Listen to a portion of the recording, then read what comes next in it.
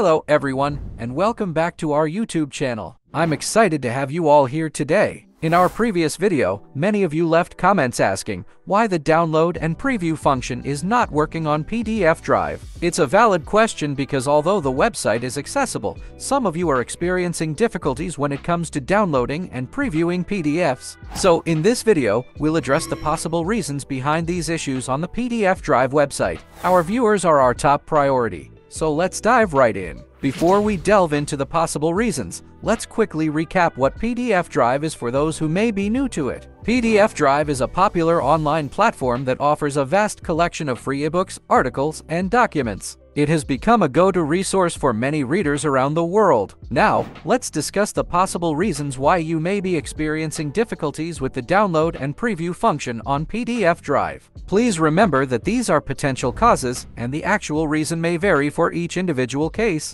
So, let's explore a few possibilities. Reason number one, file unavailability. Firstly, it's possible that the specific file you're trying to download or preview is currently unavailable. Did you know that PDF Drive hosts millions of documents? With such a vast collection, occasional maintenance or updates are necessary to ensure the website's smooth operation and to provide you with the best user experience. The fact is PDF Drive hosts over millions of documents covering a wide range of topics. Reason number two, technical glitches. Another possible reason could be technical glitches. Like any online platform, PDF Drive may experience occasional technical issues. These glitches could temporarily affect the download and preview functions. The dedicated technical team at PDF Drive works diligently to resolve any such issues and ensure that the website operates seamlessly. Reason number three, copyright restrictions. A significant factor to consider is copyright restrictions. PDF Drive respects copyright laws and strives to provide legal and authorized content to its users.